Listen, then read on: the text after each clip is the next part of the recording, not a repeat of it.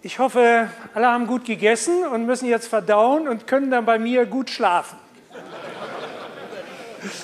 Aber äh, damit das nicht ganz so weit kommt, will ich versuchen, ein bisschen was dazu zu erzählen. Wir haben ja gerade von Reinhold einen recht guten Eindruck gewonnen, was man mit SDR alles machen kann und was das Gute an SDR ist. Und genau das möchte ich mit diesem Beitrag, den ich euch erzählen möchte, äh, vertiefen.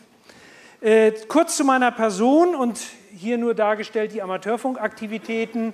Ich bin Relaisbetreiber in Bremen, äh, Experimentierstation DB0 HFT äh, mit allen möglichen Dingen. Äh, ich bin Mitarbeiter im VUS-Referat des DRC mit dem Schwerpunkt SDR. Ähm, ich habe die SDR-Akademie gemeinsam mit äh, Markus Heller DL8 RDS gegründet. Ich bin Planer und Designer der Technik und der Antennen für das Wisper-Barken-Projekt in den Polarregionen, insbesondere halt in der Antarktis. Und ein zweites Projekt, was ich äh, mit der DLR zusammen angefangen habe, wird vermutlich im Juni in Betrieb gehen. Ähm, die, äh, na, also, die DLR plant, den Container dann nach Nordgrönland zu verschiffen. Und dort gibt es auch wieder eine Whisper-Barke und auch wieder mit meiner Technik oder mit dem, was ich dazu beigetragen habe. So, äh, es gibt die Seite whisperlive.net. Ich weiß nicht, wer kennt die? Okay, schick, ja, einige kennen sie. Ich kann sie auch gleich zeigen, äh, wenn mein, mein System hier greift. So, das ist diese Seite hier. Diese Seite zeigt die Aktivität von Whisper Multiband Transreceivern, äh, äh, wo man sehen kann, Del Hotel Tango, das ist die Station bei mir in Bremen, hat in den letzten 24.000, 7.000 und 24 Whisper-Reporte gesammelt. Äh, in der letzten Stunde 286. Das ist nicht viel. Es gibt auch Zeiten, da ist es doppelt so viel. Ja? Aber der Gag ist, dass man von DP0 GVN, dass man da unmittelbar nachgucken kann. Hier oben wählt man einfach aus DP0 GVN. Da. Und dann sieht man, die letzten 24 Stunden haben die 4545 bei, in der Tageszeit ist sehr schwach, in der Nacht kommt äh, Europa und USA gut durch und da können die richtig viel reinholen. Dann haben wir hier noch alle möglichen weiteren Auswertungen, kann ich mal zeigen, das ist vielleicht nicht ganz so prickelig. Nicht? Die einzelnen Bandauswertungen äh, und Darstellungen ne? und äh, wer Lust hat, guckt sich das mal an. Äh, ist meinem Gefühl nach eine schöne. Ich habe auf der letzten Ham-Radio das detaillierter erläutert äh, und äh, möglicherweise muss ich das noch ein weiteres Mal tun. Wir sind dabei weiter an Entwicklung und insofern sind dort Veränderungen noch möglich. Ich will zurück zum Vortrag und dort weitersetzen. Ja, es geht um Redpitaia-Anwendungen. Da habe ich auch schon Seminare zugemacht möglicherweise. Wer hat so ein Red Pitaya? Oh, das sind immerhin 10 Prozent. Donnerwetter. Gut. Ähm, wer sich so ein Ding kaufen will oder damit was machen will, der sollte sich sehr klar, wie wir das in industriellen Projekten üblicherweise machen, erstmal eine eigene Zielfindung äh, leisten. Das heißt, will er nur funken oder will er noch was mehr oder was anderes? Ähm, will er das Stationsgerät ersetzen, dann ist die Frage, welche Ausgangsleistung darf es denn sein? Ähm, muss das Ding portabel sein? Übrigens, so ein Red mit so einem Powerbank zusammengekoppelt ist portabel. Ja? Kein Problem, kann locker 10 Stunden laufen. Ja? Macht aber eben bekanntermaßen nur 10 Milliwatt. Ja? Aber kann man auch mit funken. Ähm, will er Messtechnik haben? Welche Geräte will er denn damit erreichen? Typischerweise sind ja Oszilloskop, Specki, äh, Netzwerkanalysator und was so alles gibt. Äh, da kann man sich was überlegen. Und möchte ich gern ein Messsystem haben? Ein Messsystem in der Anwendung zeige ich im hinteren Teil meines Foliensatzes. Weiß nicht, ihr habt ja in der Mittagspause genügend Zeit gehabt. Wahrscheinlich habt ihr schon mein Skript gelesen, meine elf Seiten, die ihr im, äh, in dem dicken Band findet. Die gelten als erweitertes Skript zu diesem Foliensatz. Ihr findet dort kein einziges Bild, keine einzige Folie, aber eben viele meiner Worte in entsprechender weiterer Form. Ja, was will ich mit euch erläutern? Äh, Repetire in der Übersicht, Repetire zum Funken, zum Messen im Check, äh, als autarker EMVU-Motor, äh, Monitor und eine kurze Zusammenfassung und für alle zur Kenntnis, das ist eine Repetire. Ja, eine rote Drachenfrucht, manchmal auch als rote Kernfrucht bezeichnet. In den Supermärkten kann man sowas finden und äh, ja, ähm, aber den Red Pitaya, den ich meine, der sieht so aus.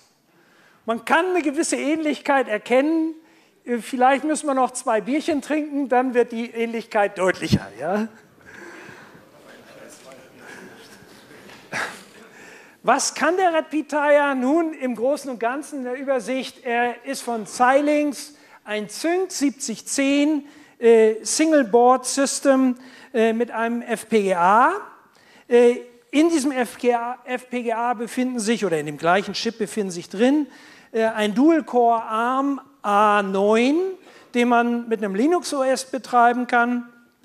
Und zusätzlich darauf aufgebracht sind zwei AD- und DA-Umsetzer, die mit 14 Bit und einer Abtastrate von 125 äh, Megasamples. Es gibt Leute, die haben das schon auf 150 Megasamples hochgezogen. Kein Problem. Vorteil, ich kann 70 Megahertz gleich noch mitmachen. Das 4-Meter-Band. Das ist die Idee dabei. Als Messgerät äh, ist es ausgelegt, es hat zwei schnelle Inputs und zwei schnelle Outputs mit 125 Megasamples. Zusätzlich gibt es vier langsame analoge I.O.-Aus- und Eingänge. Es gibt einen ganzen Berg von GPIO-Aus- und Eingängen, Netzwerk. Äh, und bei meinem ist hier dran so ein kleiner Stick, äh, der das Ding zum Access Point macht. Bedauerlicherweise habe ich heute Morgen beim Konfigurieren im Hotelzimmer vermutlich einen Fehler gemacht, sodass der Access Point zwar da ist, aber in meinem Laptop keine IP-Adresse gibt. Daher kann ich mich jetzt nicht einloggen und kann euch das direkt vorführen, was ich vorhatte. Leider Pech, aber ich habe genug Folien und wir kommen da auch drüber hinweg. Ja, ähm, wie funktioniert so ein Ding prinzipiell? Ich habe drunter gelegt das FPGA, in dem wird eine Logik hineingeladen, die bestimmte Aufgaben erfüllt. Das FPGA hat die Möglichkeit, Speicheradressen bereitzustellen, äh, nicht ganz wenig übrigens. Äh, und diese Speicheradressen, die können in das Linux OS hineingespiegelt werden. Vom Linux OS kann ich mit entsprechenden Linux-Programmen, die ich als Server benennen will, äh, kann ich diese Speicheradressen äh, sowohl beschreiben wie auch lesen und kann damit meine Aufgaben, die ich weiter oben mir vorgenommen habe, erledigen. Eine Verbindung gibt es über das Netz. Auf der anderen Seite habe ich ein beliebiges OS mit einem Client-Programm oder manche würden auch in der Windows-Welt spricht man von Treibern. Naja, in Gottes Namen. Und äh, dann habe ich darüber ein Anwendungsprogramm. Dieses Konzept ist so grundlegend, dass alles, was ich mit diesem Repetire mache, äh, immer auf diesem Konzept basiert. Es gibt einen Berg von Foren und die wesentlichsten Foren, die ich äh, als Informationen zusätzlich benennen möchte und selber sehr belobigen möchte, das ist das von äh, Jörg Saure, cqnrw.de. Wer kennt das? Sehr wenige. Dann würde ich das sehr empfehlen. Es ist ein tolles Informationsforum, wirklich toll gepflegt, mit sehr guten Dokumentationen äh, zu dem, was die Leute sich ausgedacht haben und dazugebracht haben an Informationen. Sehr empfehlenswert viele gute Anregungen, um daraus ein Funkgerät zu machen. Nochmal, äh, Jörg Saure und die Diskutanten dort, die kümmern sich überwiegend um die Anwendung als Funkgerät. Übrigens auch der Vortrag von morgen äh, vom äh, Edwin wird genau das auch beinhalten äh, und wird zeigen, wie man daraus ein gutes Funkgerät machen kann. Und weil der Edwin ja morgen schon erzählt, habe ich mir gedacht, Funken, okay, machst du mal ein bisschen Überblick und dann kümmerst dich mal mehr ums das Messen. Ähm, dann gibt es das Repitaia Forum direkt von der Firma, äh, eine Firma aus Slowenien, die dieses äh, Produkt hergestellt und entwickelt hat. Äh, da findet man alle Themen, in der Regel in englischer Sprache, äh, aber dort sind eben hochkarätige Diskutanten drin und stellt man dort eine Frage, dann kriegt man wirklich eine Antwort, die das Problem löst. Das ist der wesentliche Vorteil dabei. Dann gibt es noch eine Repetire als Whisper-AX-Gruppe, also äh, diejenigen, die äh, den Repetire als Multiband Whisper-Receiver verwenden, äh, die diskutieren da auf der Yahoo-Gruppe. Muss ich erklären, was Whisper ist? Wer, hat noch, wer weiß nicht, was Whisper ist? Okay, 10 Prozent steht für WSBR. Weak Signal Propagation Reporter ist ein digitales, äh, eine digitale Sendeart, die es erlaubt, in wenigen Hertz mit einer 4 FSK äh, eine Übertragung zu machen von wenigen Bits binnen zwei Minuten und die es mit bis zu 33 Dezibel unter dem Rauschen eines SSB-Kanals erlaubt, Signale noch zu dekodieren. Das ist der wesentliche Gag dabei. Man kann mit 10 Milliwatt, übrigens mal spannende Frage, wer von euch traut sich mit 10 Milliwatt auf das örtliche VHF-Relais? Okay, gibt es welche? Äh, danke für den Mut. Ja, aber mit 10 Milliwatt funke ich mit einem Stück Draht auf dem Hausdach nach VK und nach USA und USA täglich auf 20 Meter. 10 Milliwatt mit Whisper. Also nur mal, um die Idee klar zu machen, was man damit erreichen kann. Es dient dazu, um die Ausbreitungsbedingungen zu beurteilen, hatte ich ja schon gerade gezeigt, nicht die einzelne Funkverbindung. Okay, Funken mit dem Repeater geht wie folgt. Ich brauche ein SDR-Bedienprogramm. Das nutzt in der Regel Software, nämlich die Server- und Client-Software äh, und das FPGA, die von Pavel Demin äh, gebaut worden sind. Pavel Demin äh, dient oder dem ist das große Verdienst zuzusagen, dass er sich aus Hobby ran, ist nicht Funkamateur, ja, Mitarbeiter der Uni Leuven, der mit FPGA sich beschäftigt hat und diesen Repeater für sich entdeckt hat. Und er hat eben alles das, was im Amateurfunk heutzutage genutzt wird, fast alles, ich würde sagen 95 Prozent, das ist von Pavel Demin gemacht worden. Äh, wohlgemerkt, was die untersten Schichten angeht in meinem Modell. Ihr erinnert euch. Ja, die unteren Schichten, die sind von Pavel Demin gemacht. Darüber gibt es die Bedienprogramme und das sind die hier in der Tabelle genannte. GQRX in, äh, für Linux, gibt es auch, glaube ich, für Windows. Dann HD-SDR für Windows, SDR Sharp für Windows. Das sind reine Empfängerprogramme. Es gibt das Quisk. Wer kennt Quisk? Oh, so wenig bloß. Ein super Programm. Warum? Es kennt nämlich nicht nur die Betriebsart oder die Sendeart SSB, CW, AM, FM, es kennt auch noch die digitale Sprachübertragung auf Kurzwelle. Ja, einfach wie so ein Modulationsverfahrensknopf einfach andrücken und dann gibt es plötzlich digitale Sprachübertragung. Alles drin enthalten. Deswegen finde ich das so genial. Die Flex Radio Leute haben jetzt angefangen, das für ihr System auch so zu machen. Klar, wenn in der Open Source Ecke sowas für lau zu haben ist, kann äh, so eine Bude äh, wie die Flex Radio Leute, glaube ich, da nicht dran vorbeigehen. Aber schön, dass sie dahin gegangen sind. Ja, ähm, der wesentliche Gedanke ist, es gibt noch ein, also es gibt zum einen diese HP-SDR-Emulation, äh, bis zu zehn Empfängern kann ich parallel auf unterschiedlichen Frequenzen laufen lassen. Eine schöne Geschichte, wer äh, mal richtig viel Empfänger braucht, der, der, macht die mit einem einzigen Repeater und hat zehn Empfänger auf zehn unterschiedlichen Bändern oder Frequenzbereichen. Äh, Schwierigkeit an der Stelle ist die hohe Informationsmenge, die aus der Netzwerkschnittstelle herauskommt. Äh, da muss man sich irgendwas einfallen lassen. Das äh, schmale, schmale Kanäle, zum Beispiel 48 Kilohertz Bandbreite, geht bei den HP-SDR oder HD-SDR-Systemen in der Regel einzustellen. Zweite Geschichte, zwei Empfänger und ein Sender. Ja, man kann sich immer die Frage stellen, wenn ich einen Empfänger habe, wofür brauche ich einen zweiten Empfänger? Gibt es viele Leute, die Conteste machen, die sagen, kein Problem, fällt mir viel zu ein. Und noch eine Möglichkeit, in reiner Stream, in HD-SDR-Technik, der praktisch an den HD-SDR angeknopft werden kann oder der ans GNU-Radio angesetzt werden kann. Der, da gibt es eben zwei Empfänger und zwei Sender.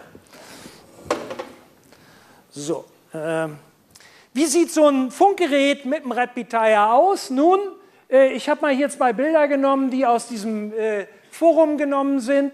Äh, einmal vom DL4YEB. Man sieht eine große Kiste, vorne einen Bildschirm dran, Touchscreen, aber richtig schön groß, ganz wenig Bedienknöpfe an der Seite, fertig. Da drin ist ein Verstärker mit drin, der ein bisschen ein paar Watt macht. Das kann man auch bis 2 Kilowatt erhöhen. Es gibt Leute, die bauen so ein Ding in ein Gehäuse ein und dann ist das eine, eine PA mit Funkgerät. Macht dann eben mit LDMOS äh, mal locker 2 kW. Okay, anderes Beispiel äh, der vom DF2BY, auch so eine Kiste, wieder vorne der Bildschirm. Äh, meist wird darauf gerne genutzt Power SDR. Wer von euch kennt das Programm Power SDR? Ja, so 60 Prozent etwa. Okay, also äh, ist ein Programm unter vielen. Ich hätte ja schon gesagt, Quisk ist auch eine Möglichkeit und es gibt weitere, aber das ist eben auch mit drin. Wie sieht so ein Schaltbild aus? Nicht so schön zu sehen. Ich hätte das Bild gern doppelt so groß gehabt, aber die Projektionstechnik gibt es derzeit nicht her. Äh, das ist die äh, von DJ8, DD8IM, von dem Jörg Saure äh, entworfene Geschichte. Man sieht hier den Red Pitaya, ein paar Komponenten, die man im Fachhandel, äh, im schlimmsten Fall chinesischen Fachhandel, sehr preiswert erwerben kann. Äh, man stöpselt das Zeug zusammen. Hier sind noch die Relais mit bezeichnet äh, und schon ist das Transceiverchen fertig. Man braucht dann natürlich noch vorne einen Rechner mit einem XOS, ne, also das kann Mac, Windows oder Linux sein. Äh, und äh, damit hätte man dann die Darstellungsform. Andere Beispiele sind das C25-Projekt. Wer kennt das C25-Projekt vom Ed, äh, Edmund oder Edwin? Ja, immerhin 20 Prozent. Nicht? Das ist sehr empfehlenswert. Da gibt es eine gute äh, Veröffentlichung zu in der CQDL über mehrere Beiträge und morgen den Vortrag dazu, wo er das ein bisschen bewirbt und erläutert, was man da alles Tolles mitmachen kann. Äh, dann der Discoret, eine, eine Idee von Pavel Demin und DA1AKF, der ist nicht im Raum, sehe ich nicht, okay. Aber äh, die haben ein System gebaut mit dem STM32, das ist ein kleiner Mikroprozessor äh, äh, mit einer Soundkarte dran. Äh, und dann ist der Repetaya damit vollständig funktionsfähig. Funkgerät. Und ganz schick, ich bin ja Freund von so einem Schmeichelphone, wo man darauf rumschmeichelt und da gibt es eben entsprechende Software dazu äh, und dann kann man den Repeater von dort aus bedienen. Leider nur dann, wenn er Access Point ist. Ja. Deswegen jetzt nicht. Ähm, der TRX mit mehreren, mehreren Antennenanschlüssen stellt man sich die Frage, wofür brauche ich sowas? Die Flex Radios haben das ja auch. Wofür brauche ich das? Nun, man kann wählbar unabhängig parallele Empfänger machen, äh, aber zum Beispiel der R2T2, ich denke, der ist bekannt, das ist vom DRC, das Webradio, was äh, durch die Mitgliedschaft Pro entwickelt und äh, an mehrere Anwender verteilt worden ist. Und das kann eben auch der Repeater sein. Anwendungen sind digitale Sendearten wie WISPA, JT65 oder Reverse Beacon Network Skimmer. Was ist ein Skimmer? Ein Gerät, was einen gewissen Bandbereich empfängt und automatisch dekodiert und das auf eine Webseite meldet. Das ist ein Skimmer, der kann Telegrafie oder PSK 31 oder irgendwas anders äh, dekodieren. JT65, all das können die Dinger. Äh, dann Diversity X, oh Diversity, die Spitze des, äh, der Empfangstechnik. Also wirklich eine tolle Sache, was man damit äh, alles erreichen kann. Ähm, dann äh, vertikal, horizontal, Ost-West oder den interaktiven Antennenvergleich, dass man einfach zwei Empfänger parallel laufen lässt und sagt, wollen wir mal gucken, welche Antenne besser ist. Und direkt das in Zahlen ablesen. Das geht bei WSPR ganz exzellent. Ähm, dann die Störunterdrückung. Wer benutzt so einen Störunterdrücker? Keiner. Doch einer, ja, einen habe ich gesehen. Ganz tolle Geschichte. Ich muss einfach eine gute Antenne nehmen und eine Antenne, die nur Störungen empfängt. Zum Beispiel ein Drahtknäuel in der Ecke vom Scheck. Und dann nehme ich das Drahtknäuel und äh, nehme die Amplitude und die Phasenlage der Störungen geschickt so, dass sie genau 180 Grad und in der Amplitude genau gegensinnig groß sind. Und schon habe ich einen störungsfreien Empfang meines gewünschten Fernempfangssignals funktioniert auf einer Frequenz ziemlich gut, ähm, geht auch, ähm, wenn man das, es gibt dazu Veröffentlichungen in der CQDL seit 20 Jahren, äh, wie man das mit POTI und äh, entsprechenden Netzwerken macht, also kein Problem, funktioniert. Und äh, das Schicke ist, im Power-SDR-Programm ist das enthalten. Ich muss das nur aktivieren und mit zwei Antennenanschlüssen nutzen. Mehr nicht wird praktisch kostenlos dazugeliefert. Was kann ich damit noch machen? Ja, das ist der Rückkanal für die Pre-Distortion. Wer weiß, was Pre-Distortion ist? Okay, oh, weiß schon mal ein bisschen was. Also moderne Transceiver erlauben sich die Möglichkeit, äh, durch eine nichtlineare Vorverzerrung des Sendesignals die Verzerrung der Endstufe zu kompensieren. Ich zeige dazu gleich ein Bild. Wie sieht das aus? Ideal wäre Eingangsleistung zu Ausgangsleistung dieser Strich. Real sieht das so aus. Ja? Äh, und was mache ich jetzt? Ich baue hier einen zweiten Empfänger dahin, der hat eine Korrekturmöglichkeit. Beides miteinander multipliziert, blau und rot ergibt nicht ganz goethische Farbenslehre, schwarz. Ja? Also die schwarze Form ist ideal. Das Ergebnis sieht so aus. Ein typisches SSB-Signal als Zweitontest äh, ohne Predistortion, mit Red Pitaya gemessen, mit Predistortion hier unten. Ja, also da kann man sehen, könnte sich lohnen, wenn ich im Kilowattbereich bin und meinen Nachbarn äh, noch ein bisschen Funken erlauben möchte. Okay, äh, der kleine Unterschied beim Red Pitaya ist, Red Pitaya ist als Messgerät ausgelegt, nicht als Funkgerät, hat einen externen Rechner integriert. Kennen wir schon, die SDR-Dinger haben immer einen externen Rechner. Ist ohne Hilfe netzwerkfähig, auch wichtig. Die meisten SDR-Dinger haben meist kein Netzwerk mehr drauf kann zum selbstständigen Messsystem werden, kann autarkes Funksystem werden, zum Beispiel ein achtkanaliger Multiband, äh, Whisper-Transceiver.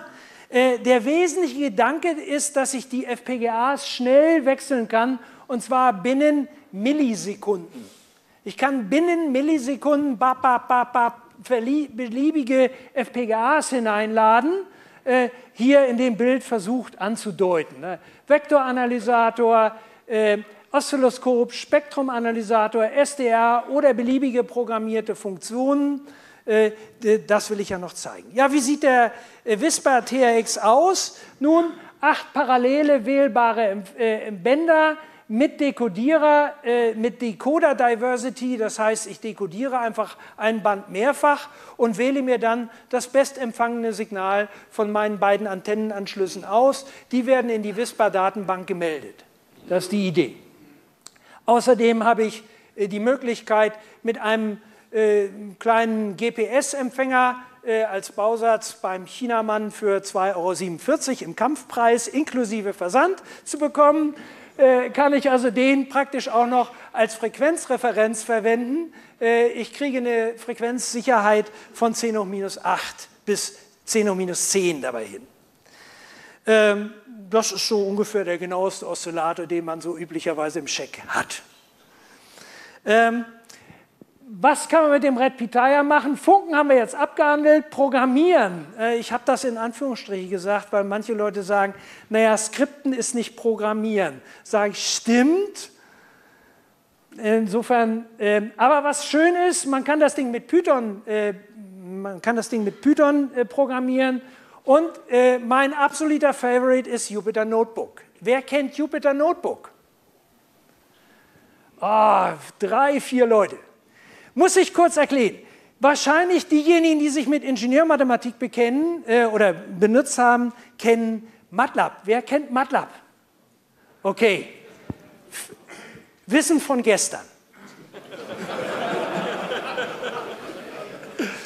Ja, Hintergrund ist die Tatsache, ich, ich bin ja in der Elektrotechnik äh, und meine Kollegen und ich haben entschieden, äh, wir haben einen Kurs wissenschaftliches Programmieren die, in der Vergangenheit war das mit MATLAB, Kollege, ein älterer Kollege hat das mit MATLAB gemacht, haben gesagt, bürgerlicher Unfug, machen wir nicht mehr.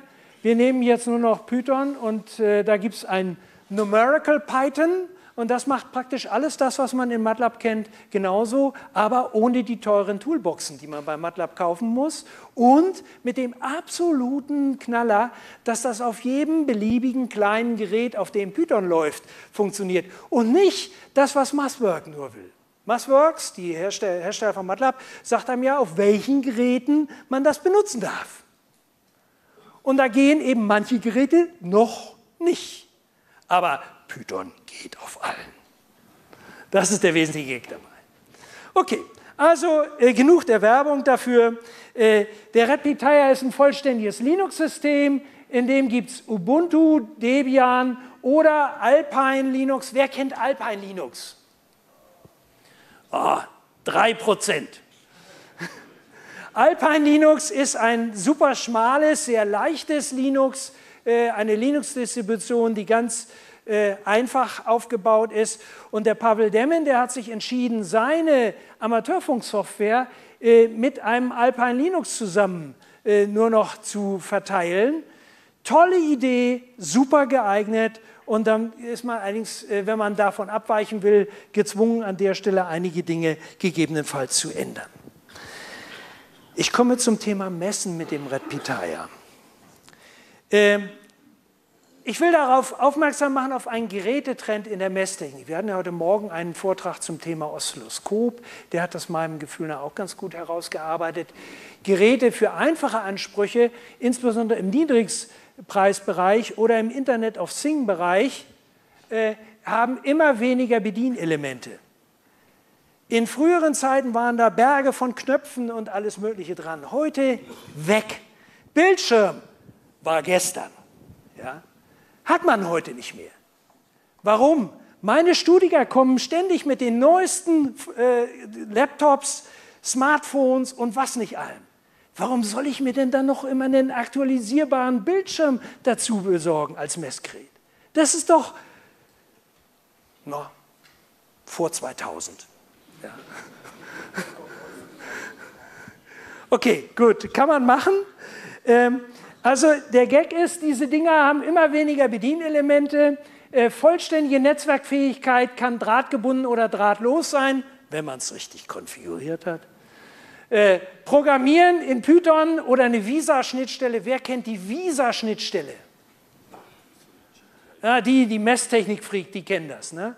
Also Visa ist eine Erfindung von National Instruments, einem Hersteller, der äh, Messgerätsysteme herstellt und der das vor langer Zeit mal äh, erfunden und dann später äh, in der Vereinigung mit allen normiert worden ist. Die Visa-Schnittstelle gibt es in Python. Äh, ohne die National Instrument Bibliotheken lassen sich damit auch verwenden. Ja. Dann im Wesentlichen haben Messgeräte heute fast nur noch eine Webbrowser-Schnittstelle. Das heißt, ich gehe auf das Ding mit dem Webbrowser drauf und meine Bedienung mache ich im äh, beliebigen Webbrowser. Damit ist es Smartphone-tauglich, Tablet-tauglich, Laptop-tauglich, was immer ich brauche. Ja? Das ist der Gag dabei. Gut, Messgeräte für das Half-Check bei uns sind in der Regel relativ niedrige Ansprüche bezogen auf die professionelle Messtechnik, äh, sind flexibler Einsatz. Ich habe so, hab nicht viel Platz in meinem Check. Hallo, das muss ich doch mit meinen kurzen teilen. Ja?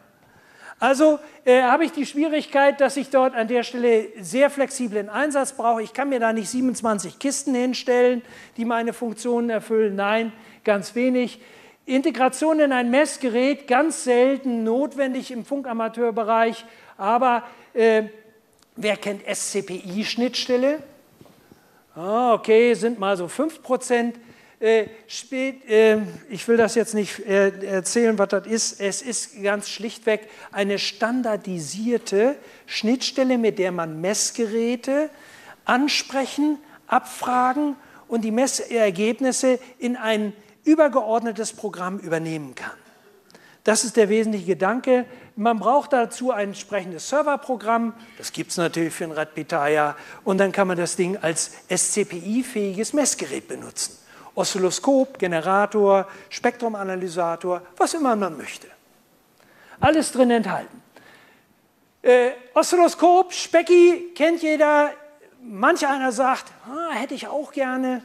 Ähm, das ist ganz schick. Und äh, mein Lieblingswerkzeug in der Funkwerkstatt ist das komplexe Wechselstromometer. Manche Dinge nennen das etwas großsprecherisch ein Vektornetzwerkanalysator. Und den gibt es mit ein und mehreren Toren. Äh, ich nenne das Ding hier oder den Repetaya, so wie es Pavel Demmin derzeit hergestellt hat, ist es ein Eintor-Vektornetzwerkanalysator. Da das in Python programmiert ist, kann man das Ding natürlich auch zum Zweitor machen. Das ist gar nicht besonders kompliziert. Ich habe auch noch keinen Studenten gefunden, der das machen wollte. Okay, ähm, was kann man damit messen? Kabel kann man damit messen. Alle Bauteile, die man typischerweise als äh, Widerstand äh, mit Kondensator, parasitären Elementen, Spulen, Güte, was wir so alles kennen, als komplexe Bauteile kann man damit messen und äh, dann eben Antennen als absolute Spitzendisziplin. Ich gucke ein bisschen auf die Uhr, ich verquatsch mich. Mal kurzes Beispiel mit dem Eintor-Netzwerkanalysator, also komplexes Wechselstromometer. Das Smith-Diagramm kennt ihr vielleicht, äh, sieht so aus, oben induktiv, unten kapazitiv, eine Darstellung des Reflexionsfaktors. Äh, wenn man viele Frequenzen hat, dann äh, entstehen Kreise um das Zentrum, irgendwie sowas drumherum. Ja? Das ist so typisch. Urheber ist der Smith, Alternative ist das Buschbeck-Diagramm gibt ja viele Ältere. Wer kennt das Buschbeck-Diagramm? Donnerwetter, 10 Prozent. Ich freue mich. Der Buschbeck war übrigens auch der Erfinder des Power-Durchfluss-SWR-Meters. Ja? Also ein kluger Mann in den 30er Jahren hat der gewirkt. Äh, Smith-Diagramm einer defekten GPA 30, das ist so ein Multiband äh, für 2015-10 mit 11,1 Meter RG58 Koaxkabel sieht dann so aus. Äh, wenn man jetzt äh, feststellt, die Punkte geringer Impedanz da, da und da, äh, sind eben bei diesen Frequenzen eindeutig nicht die gewünschten Frequenzen des 20, 15 und 10 Meter Bandes. Das wäre ja der Teil. Deswegen, wenn man das Ding repariert, sieht es dann so aus. Und das ist jetzt tatsächlich der Sollbereich. Und äh, jetzt kann man dahergehen durch eine dreizeiligen Ergänzung des Programms von Pavel Bedemin, rechnet man das 11 Meter und 10 lange RG58-Kabel mit Dämpfung und Phasenlage weg und das sieht dann so aus. Das ist das Grüne. Ja? dann sieht man die Resonanzpunkte dort wieder entsprechend drin. Wie gesagt, äh, ist, sind drei Zeilen Zusatzcode, fertig. Nächster Punkt.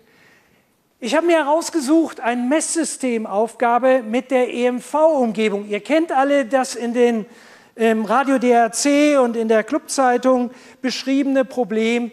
Äh, wir wollen wissen, wie viel stört es eigentlich hier in Europa. Derzeit in den Amateurfunkbändern. Wer die Whisper-Ergebnisse der Polarbarke sich anguckt, weiß, was man hören kann, wenn man mal auf einem Kontinent empfängt, auf dem es keine Powerline-Anwendung gibt. Ihr glaubt gar nicht, was das Ding da alles hört. Das ist faszinierend zu sehen. Okay, gehen wir mal dazu. Was brauchen wir? Wir haben eben störende HF-Umgebung, VDSL mit OFDM, äh, Powerline, Bestimmungs-, nicht bestimmungsgemäße Spannungskonverter, die eben im preiswerten Angebot vom Chinamann geliefert, ohne äh, Einhaltung von entsprechenden Normen, leider ein bisschen äh, neben der Spannungskonversion noch andere Dinge tun, die sie nicht tun sollten. Dann Leuchtmittel, äh, da gibt es einen Beitrag, glaube ich mal, von dem Herrn Jirmann, der hat dazu ja auch mir hier schon mal was erzählt, dass eben solche Leuchtmittel manchmal außer Kontrolle geraten.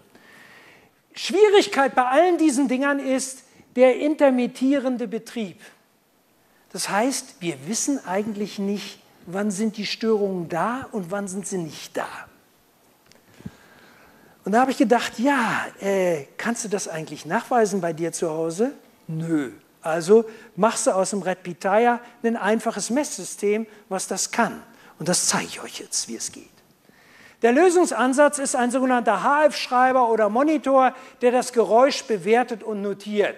Erste Frage, was sollte es können? Naja, es soll eben, äh, das war die Idee von Thilo Kotz aus dem, in seiner Zeit beim EMV-Referat vom DRC, hat er diese Idee mal in der Diskussion mit mir aufgebracht, sagte, Mensch, man braucht doch so ein autarkes Gerät, kann man irgendwo hinstellen, nicht? Ich denke nochmal an mein Powerpack, ne?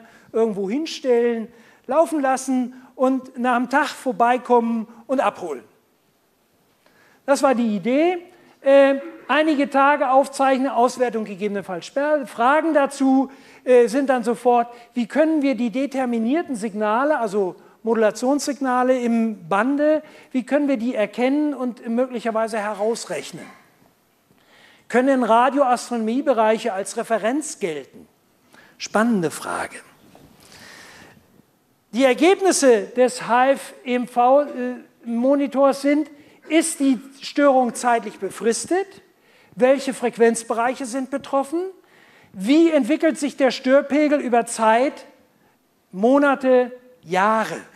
Wenn ich das Ding eben einfach dauerhaft mache. Und derzeit ist das ja genau die Diskussion im, im Vorstand des Radioclubs, soweit ich das verstanden habe. Äh, es gibt ja schon die Veröffentlichung dazu, wie so ein Sensor, also eine Antenne aufgebaut wird. Die spannende Frage ist, wie geht es dahinter weiter? Das ist meines Wissens noch nicht geklärt. Mein Beitrag zur Diskussion ist das hier. Ja? Also, äh, möglicherweise kann es sein, dass ich einen Empfänger als SDR-System nehme, als autarkes System, preiswert, leichter Nachbau, Integration in Speichersystem, einfacher Programmierung in Python, leicht von anderen zu ändern und anzupassen. Die Auswertung ist aber noch zu definieren, die Speicherung ist auch noch sowohl physikalisch als auch logisch zu definieren. Die Eigenschaften des Monitors äh, müssen geklärt werden. Welche Bandbreite brauche ich? Welche Zeit zur Integration der Störenergie möchte ich haben? Und was ist eigentlich mit einfachen äh, Systemen möglich? Mit dem Pitaya kann ich einen Zeitausschnitt aufzeichnen. Den kann ich mit Hilfe einer Fensterung in die FFT überführen, gegebenenfalls Integration über einen längeren Zeitraum durchführen. Bei einer Abtastrate von 125 Megasamples gelingt es mir von 0 bis 62,5 Megahertz das gesamte analoge Band zu erreichen. Ähm, zeitliche Fensterlänge sind beim Repetire in der Standardkonfiguration 16.384 Zeitsamples. Das entspricht 139 Mikrosekunden und äh, führt zu einer FFT-Auflösung von 7,6 Kilohertz. Nun würde jeder sofort sagen, viel zu wenig für Amateurfunk. Wir funken doch nur mit 2 Kilohertz Bandbreite. Sage ich, Vorsicht, mal gucken. Okay, habe ich mir aber zur Frage gestellt, wie geht denn das? Die FFT-Binnenbreite ist eben zu klein, aber man kann natürlich auch was anderes machen. Wenn man nämlich ein anderes FPGA nimmt und ein etwas anderes Serverprogramm dazu lädt, äh, wie gesagt, in Millisekunden zu ändern, ja, äh, dann habe ich eine Möglichkeit, per DMA direkt in den Linux-Speicher zu schreiben. Die Geschwindigkeit äh, des Dateisystems in Linux ist an der Stelle die Begrenzung. Das Ding kann auch über Netzwerk rüberschicken, aber die äh, Tatsache, dass ich eben ein Sample mit zwei Byte habe und Schreibraten bis zu 30 Megahertz äh, fehlerlos im Dateisystem unterkriege, äh, im Burst auch 125, dann kann ich aber eine höhere Auflösungsgrenze erreichen. Die Aufzeichnung in dem folgenden Bild zeigt, hier sind mal 250 Hertz aufgelöst ein Signal bei 1 Megahertz genau dargestellt. Und das ist der Bereich bis 62 Megahertz. Leider ist der Generator an der Stelle ein bisschen außer Kontrolle geraten und macht diese Oberschwingung. Das ist aber eine Generatorsache, keine Sache des Messsystems. Gibt Bilder, wo das nicht auftaucht. Messaufbau in Bremen, Antenne auf dem Hausdach, Dauermessung über x Stunden, Einordnung der Störungen, dann eben äh, so aufgebaut, die GP30, 10 Meter Kurskabel, ein Vorverstärker, Red Pitaya, Jupyter Notebook äh, mit einem Cron. Cron ist ein äh, hinterlegtes Programm, was automatisch in einer definierten Zeit immer wieder äh, Programme aufrufen kann und Ablage auf dem Dateisystem führt zu folgender Idee, Messung mit Vorverstärker, äh, mit Vorverstärkung 22 dB, 8193 äh, Frequenzpunkte mit Auflösung von 7,6 Kilohertz. Äh, und äh, durch den Vorverstärker wird der Dynamikumfang etwas verschoben. Gucken wir uns mal so ein Bild von 14 Megahertz an. Hier sieht man wiederholte Messungen. eine Messung sind an der Stelle 130 Mikrosekunden. Ich habe hier vier Messungen dargestellt, die im Abstand von 4,7 Millisekunden aufgenommen worden sind. Und man sieht sehr schön, oh, das ist aber ganz schön unterschiedlich. Kann das sein? Komisch. Gut, Amplitudenunterschiede bis zu 30 Dezibel bei 14,2 Megahertz, da wird man sagen, so wohl nicht. Nächster Gedanke, welche Minimum des Geräuschs, wenn also die Idee war ja, das Minimum des Geräuschs zu, äh, zu machen. Bei der Geräuschmessung machen wir eine zeitliche Integration. Wir machen etwas wie die Messung des Rauschens. Geräusch, Rauschen.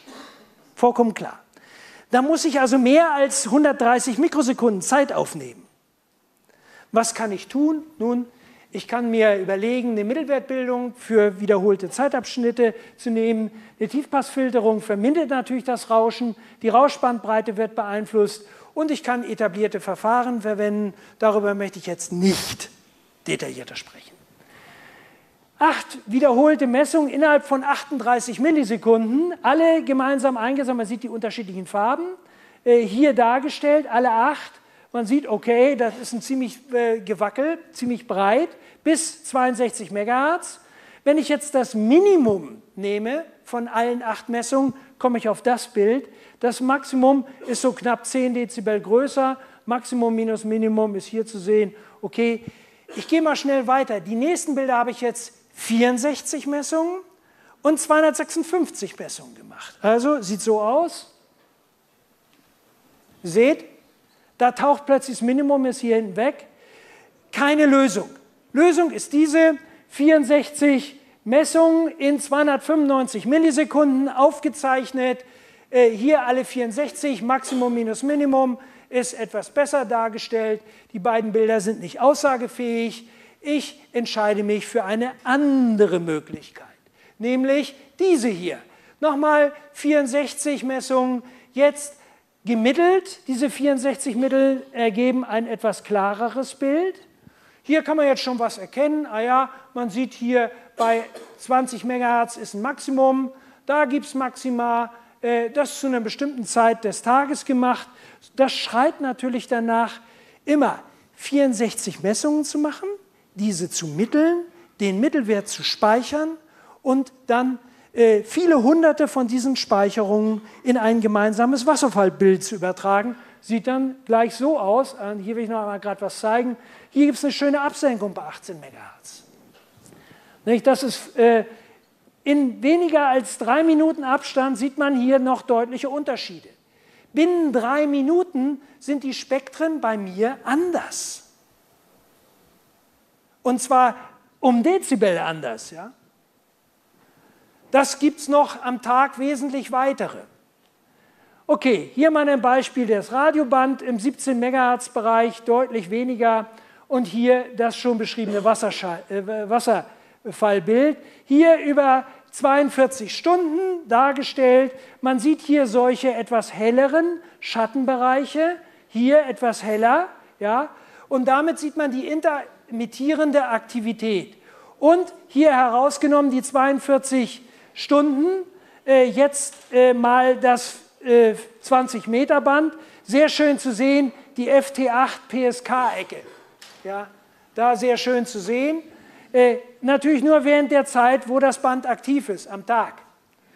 Die 0 Uhr sind hier um 18 Uhr am einem Tag gewesen und da geht es halt von 18 Uhr 40 Stunden weiter. Ja.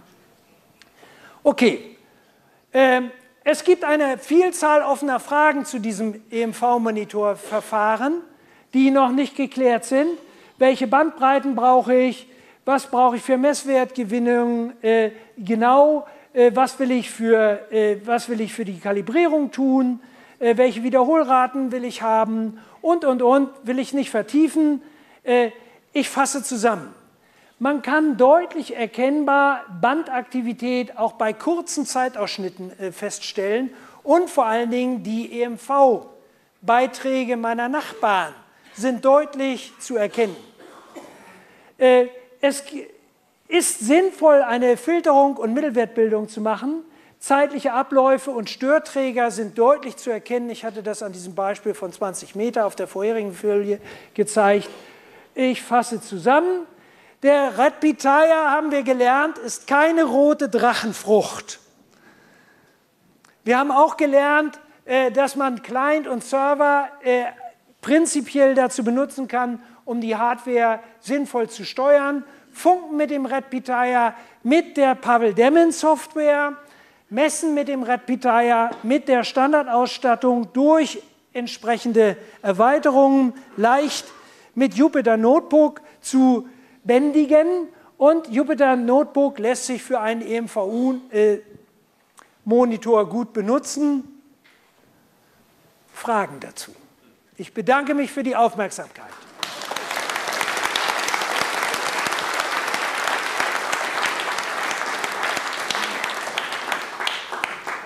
Lieber Michael, vielen Dank. Ich hoffe, du kannst auch diese Rauschquellen messen.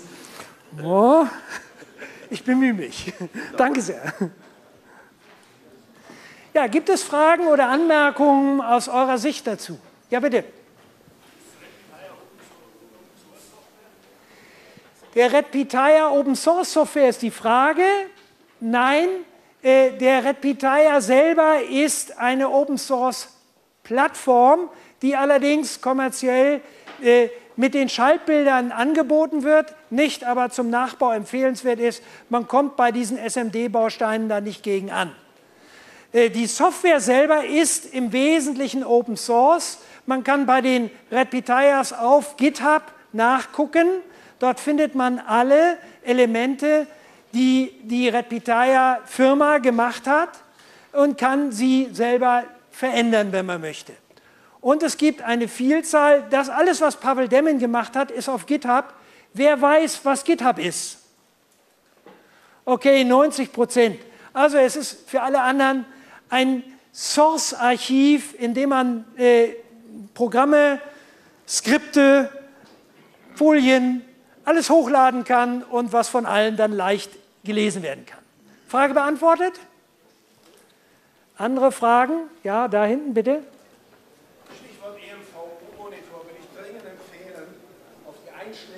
internationalen Normen zurückzugehen. Dort wird mit einem CISPA-Detektor, der CISPA 16 zum Beispiel, eine 1-Sekunden-Messung gemacht. Das Integrationszeit pro Frequenz. Und es gibt die Aussage, man hat unter zum Beispiel CISPA 11, also ISM-Geräte, einen Zeitraum von 15 Minuten eventuell zu monitoren, ob sich das Gerät in irgendeiner Weise spektral zeitlich verändert. Wenn man das berücksichtigt, glaube ich, hat das ganze Programm einen viel höheren internationalen Akzeptanzwert in der Normung, denn in der Normung spielen sich zurzeit schlimme Dinge ab. Herrschen nur noch Lobbyisten, Mord und Totschlag und die Fachtechnik ist fast Danke für den Beitrag, Dieter. Ja, das ist äh, sehr gut. Äh, ich habe das äh, hier schlicht gezeigt, weil das ist mir zwei Tage vor diesem Vortrag eingefallen, diese 20 Folien zu machen. Ja? Äh, und deswegen habe ich eben nur mal gerade 40 Stunden Messzeit gehabt. Sonst hätte ich da auch mehr genommen. Ne? Also wir sehen, da sind wir noch nicht mit der Diskussion am Ende. Da war noch eine weitere Frage, bitte.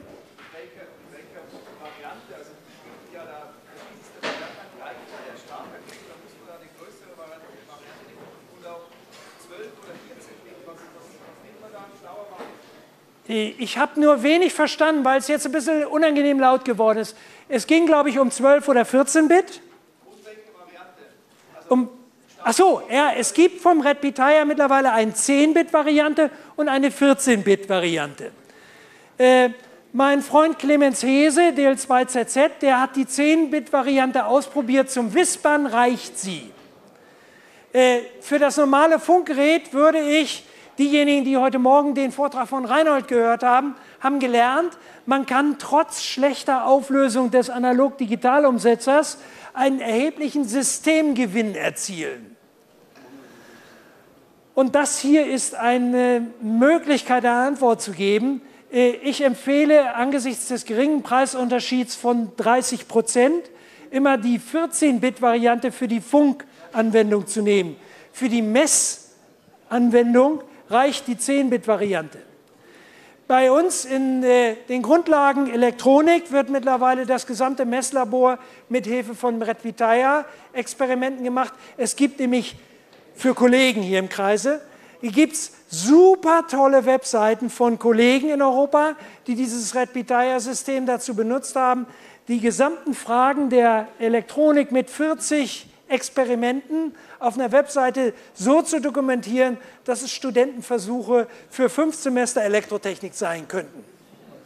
Ja, also äh, richtig gut ähm, und deswegen ist das für die Leute eine tolle Möglichkeit. Habe ich hier was übersehen an Fragen? Fra Achso, Frage beantwortet? Okay, ja bitte.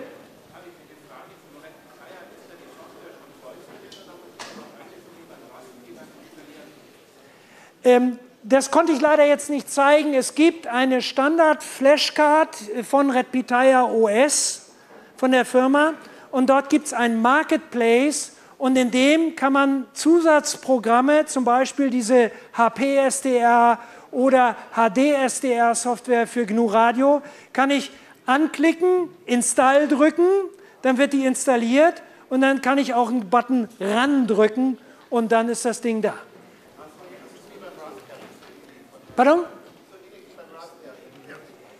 Ja, beim Raspberry hat man nicht diese Web-Oberfläche an der Stelle, ist aber beim Red Pitaya ist eine reine Web-Oberfläche mit dabei, damit sehr einfach verwendbar. Man kann damit auch Oszilloskop oder Spektrumanalysator oder andere Geräte in der Weise aufrufen. Klärt das deine Frage? Okay, danke. Ich sehe, ich muss abbauen, damit der nächste äh, zeitgerecht beginnen kann. Danke, man sieht sich.